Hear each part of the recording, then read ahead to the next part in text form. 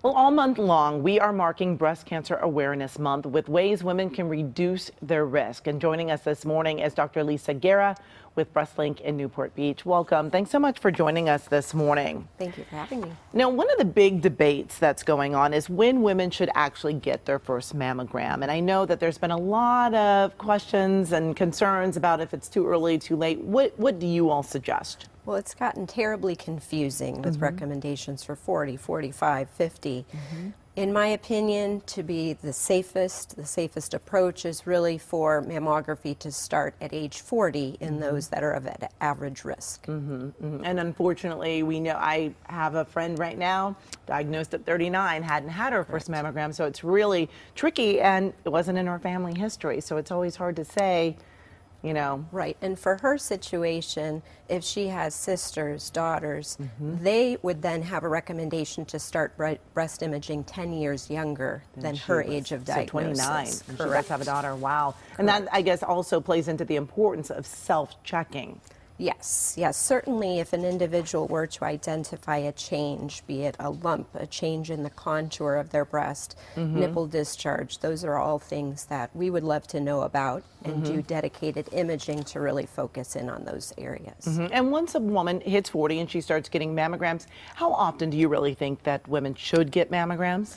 I really am of the opinion that women should have annual mammography starting at age 40. Mm-hmm. That gap between two years you know, things happen in yes. life, and sometimes one year becomes a year and a half. Mm-hmm. Two years then can become three years. Mm-hmm. And so, really trying to be diligent about that follow up once a year, I think, mm-hmm. is important. Mm-hmm. What about genetic testing? Um, I was the first in my family. It wasn't recommended that I have the genetic testing, but do you recommend that a lot of women have the genetic testing? Well, 70 to 80% of breast cancers actually have nothing to do with our genetic makeup. It's a mm-hmm. cell that made a bad cell, and that bad cell kind of ran rampant. Mm-hmm. But there's certainly certainly are some individuals that we do want to consider genetic testing for. And typically that's individuals who've been diagnosed with a breast cancer at a relatively young age, mm-hmm. such as 45 or less, mm-hmm. an individual with ovarian cancer at any age, mm-hmm. an individual or family that's had both breast and ovarian cancer, mm-hmm. a male patient or mm-hmm. relative with breast cancer, mm-hmm. an individual who's had breast cancer in both breasts or two separate distinct different breast cancers, even if they're in the same breast, and particularly if there's family history as well.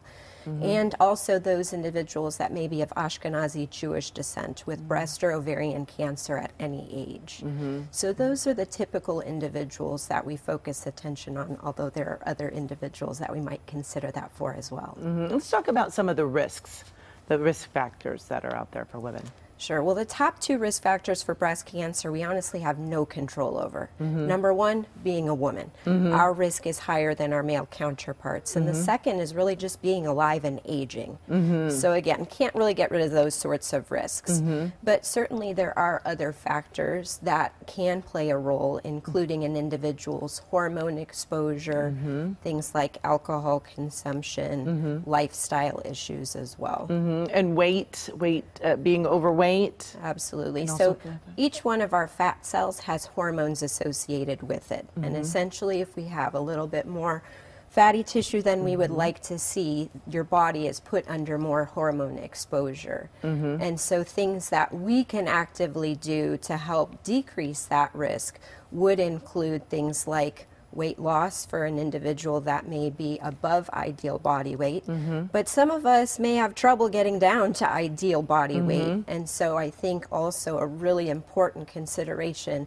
is activity. Mm-hmm. Vigorous activity for at least 30 minutes a day, most days of the week, is a great means of risk reduction. Mm-hmm. And then trying to avoid consuming more than one glass of alcohol a day okay. is also felt to keep an individual's risk lower. Okay.